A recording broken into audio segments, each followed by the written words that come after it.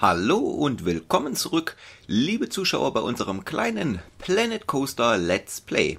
Ein kleiner Rückblick auf die letzte Folge, da das ja doch schon ein bisschen her ist. Und zwar hatte ich, beziehungsweise hatten wir in der letzten Folge ja hier diese kleine wunderschöne Achterbahn gebaut. Sprich unsere erste Achterbahn im Park. Und das sollte halt der Grundstein für unseren neuen Burgthemenbereich werden. Allerdings haben wir jetzt ein kleines Problem. Und zwar, Ja, unser Finanzberater des Parks kam dann doch auf mich zu, dass wir dann doch ein bisschen zu viel Geld ausgegeben haben in der letzten Folge mit unserer Achterbahn. Und ähm, ja, es da halt leider Gottes im Moment keine Erweiterung geben kann. Und äh, stattdessen habe ich mir gedacht, ja, kümmern wir uns um etwas anderes. Und zwar soll es hier in diesem hinteren Teil des Parks jetzt etwas geben. Und zwar ja ein bisschen Thematisierung. Und ähm, da wollte ich halt ganz klassisch, wie das halt auch bei vielen, vielen anderen Freizeitparks so in den äh, 70 70er Jahren der Fall gewesen ist, einen ja, Märchenwald bauen, beziehungsweise halt so etwas in der Richtung hier halt anfangen. Und ja, damit habe ich dann jetzt hier auch begonnen. Und das Ganze wird halt ja, wie gesagt, so klassischer Märchenwald-Stil und halt auch in der Art und Weise versuche ich jetzt hier so ein paar Häuschen zu bauen und das Ganze hier für mich, beziehungsweise für uns und auch für unsere Parkbesucher zu entwickeln. Ja, wie gesagt, also ähm, finanziell geht's unserem Park natürlich am Anfang noch nicht ganz so gut und dementsprechend, ja, muss man dann halt auch hier und da mit ein paar kleinen Abstrichen rechnen und das Ganze dann halt auch ein bisschen, ja, sich anpassen den aktuellen Gegebenheiten. Es läuft halt nicht immer alles so, wie man das gerne hätte in der freien Marktwirtschaft und auch nicht immer so, wie, ja, wie der äh, Plan auf dem Papier das vorsieht und deswegen, ja, wird das Ganze hier halt ein wenig jetzt äh, in diese Richtung entwickelt. Aber hierzu habe ich mir auch schon so ein paar Ideen und Gedanken macht. Dazu komme ich aber gleich später noch. Zunächst mal baue ich jetzt hier halt das erste Häuschen und das Ganze halt in der klassischen, ja, ich sag jetzt mal, ähm, Fachwerk, Lehmhüttenoptik ähm, mit Reddach und äh, ja, halt so, wie man sich das äh, vorstellt und wie das auch in diversen anderen Parks bekannt sein dürfte ob das jetzt im Efteling ist oder ich denke da jetzt auch zum Beispiel an um, den Freizeitpark Plon, da sieht das ja auch relativ ähnlich aus so ein bisschen und äh, ja, halt in der Richtung möchte ich das Ganze hier so etwas entwickeln.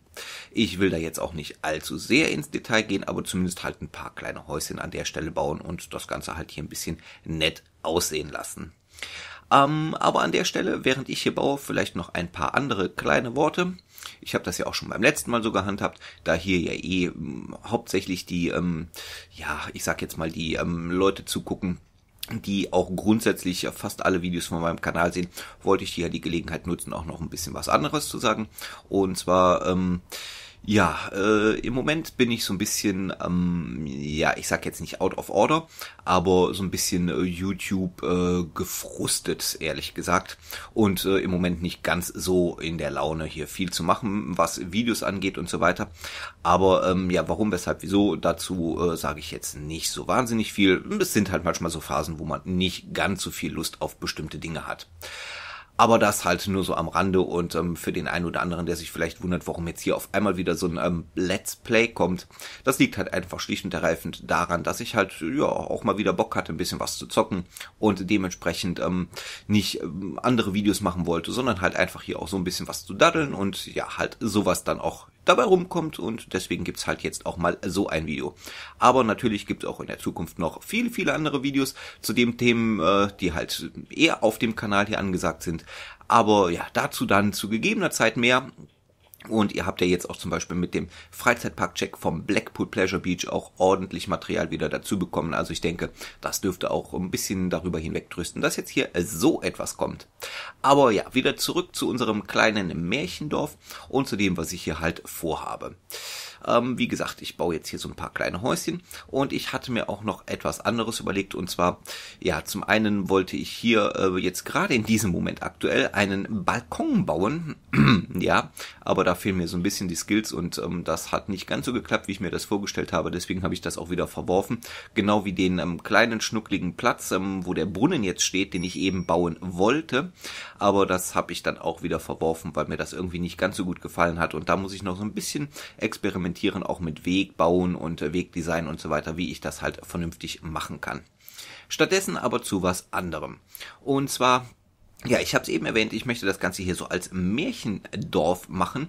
Und da hatte ich mir halt auch überlegt, ähm, ja, wie das halt so zum Beispiel früher im Phantasialand oder auch in anderen Parks gewesen ist, dass man halt so diese klassischen Häuschen baut, wo dann auch Geschichten erzählt werden, sprich so ein bisschen mit Animatronics und ja, halt kleinen Puppenfiguren oder sonst was nicht halt auch dementsprechend Geschichten warum kommen.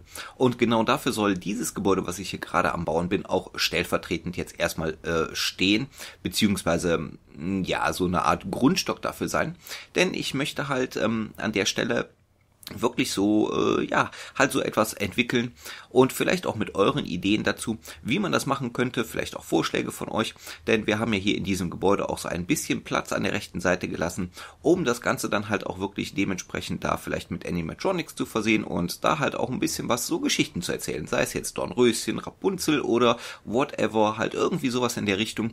Aber äh, ja, dazu wollte ich auch so ein bisschen eure Ideen und Vorschläge mal abwarten, deswegen habe ich das Ganze jetzt erstmal so offen gelassen gelassen und auch nur stellvertretend eben dieses eine Gebäude gebaut. Und ja, schreibt mir gerne mal unten in die Kommentare Vorschläge, Ideen oder irgendwas in der Richtung, auch wie man das halt auch wirklich dann bei Planet Coaster verwirklichen kann. Und ja, halt gerne eure Meinungen und Vorschläge. Ich würde mich jedenfalls drüber freuen. Und ja, bis dahin, ja, habe ich jetzt hier erstmal dieses Gebäude gebaut. Äh, ja, auch jetzt relativ schlicht und einfach halte damit das Dorf überhaupt mal eine Art Dorf wird und dass hier halt ein paar Gebäude mehr sind und vielleicht auch der hintere Teil dieses Parks hier ein bisschen belebter wird, auch wenn natürlich Thematisierung alleine keine Leute in den Park zieht. Da müssen Attraktionen her. Das hatte der eine oder andere von euch ja auch schon erwähnt und gesagt. Und ja, das wird auch definitiv irgendwie bald folgen, dass wir halt noch ein paar Attraktionen mehr haben. Aber an der Stelle muss ich jetzt einen kleinen Cut machen, ähm, denn es gibt etwas anderes, was ich euch noch sagen muss, aber dazu möchte ich halt erstmal live in den Park gehen und ja, da melde ich mich dann gleich live aus dem Park zurück. Und damit willkommen hier live aus unserem wunderschönen Märchendorf. Ich sollte vielleicht mal auf Play drücken, dann passiert auch ein bisschen was mehr im Bild.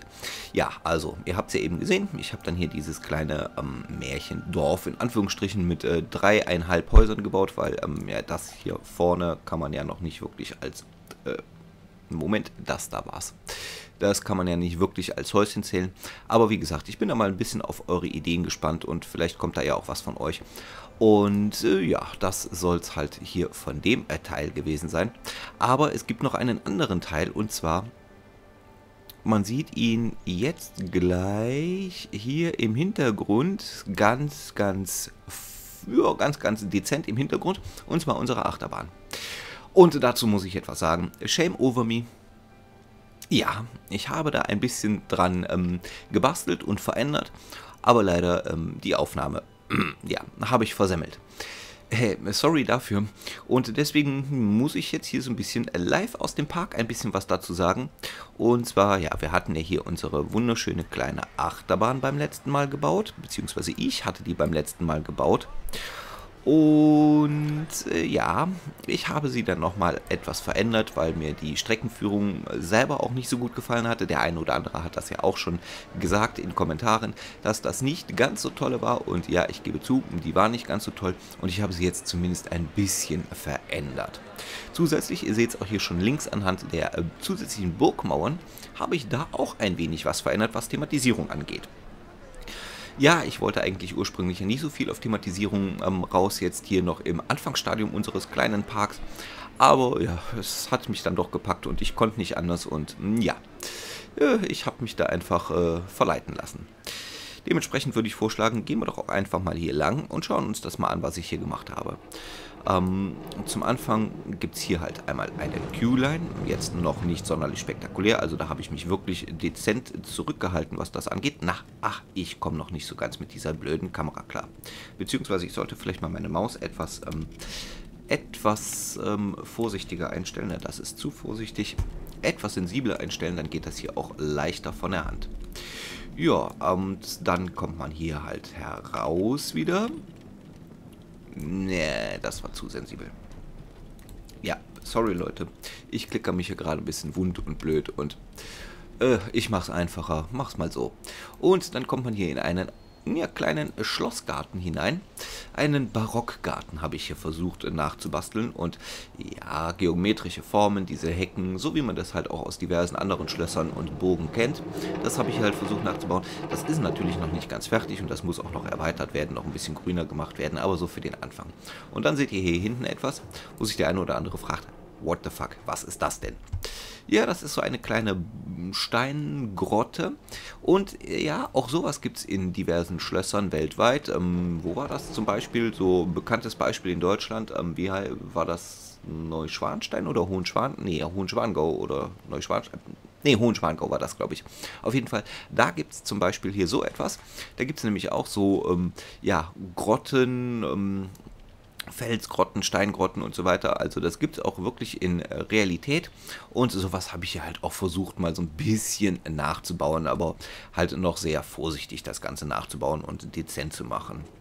Ähm, für die Leute, die es interessiert, wie das denn zum Beispiel mal im Dunkeln aussieht, kann ich auch gerne mal die Uhrzeit etwas umstellen. Gehen wir doch mal auf, äh, ja, die Uhrzeit, sprich wir haben hier auch ein bisschen Beleuchtung. Ich habe hier ähm, diese kleinen hübschen Dinger. Ja, das sind eigentlich Schornsteine, aber die habe ich mal zu ähm, Lampen umfunktioniert. Ich finde das ganz hübsch und ganz nice. Und ja, also auch im Dunkeln dezent beleuchtet und ganz okay, wie ich finde. Ja, aber das ist nicht das Einzige, was ich gemacht habe.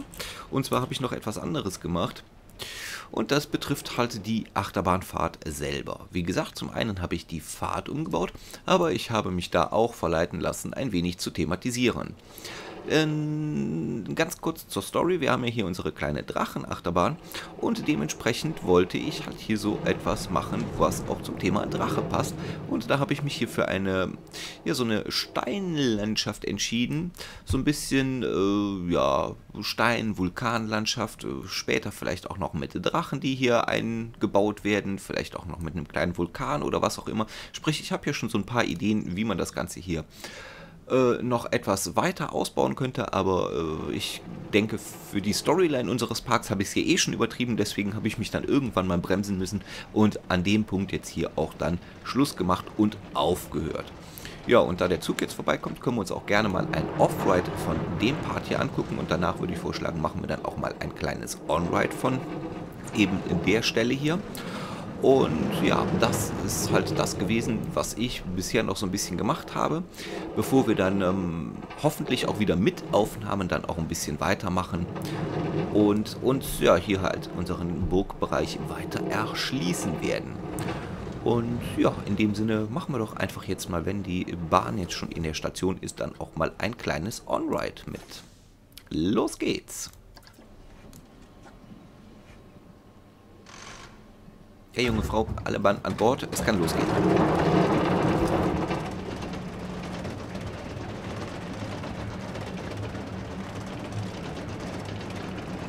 Und ab geht die mehr oder weniger wilde Fahrt.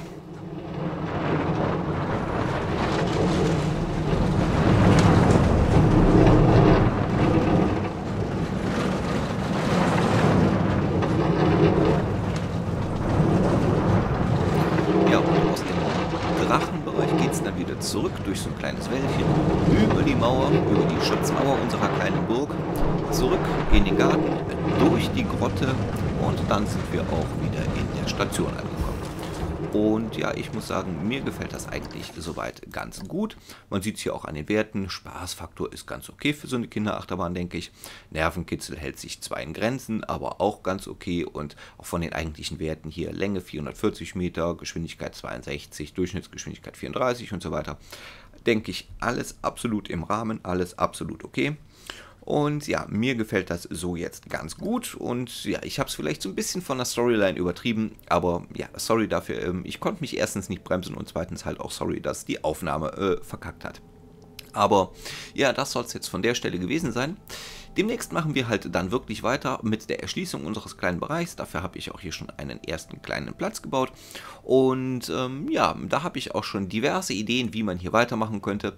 Und vielleicht schreibt ihr mir auch gerne nochmal eure Vorschläge, Ideen, Meinungen. Also zum einen natürlich, was hier hinten unser Märchendorf betrifft, was man hier halt äh, szeneriemäßig noch ändern kann und welche Märchen man vielleicht noch einbauen könnte. Und natürlich auch, was dann äh, im späteren Verlauf hier diesen Part angeht mit Burgthematisierung. Und das soll es jetzt wirklich gewesen sein. Ich verabschiede mich von euch mit meinen Standardworten. Ich wünsche euch noch viel Spaß hier auf YouTube und sage Tschüss, bis zum nächsten Video bei Emmy Pictures Freizeitpark TV.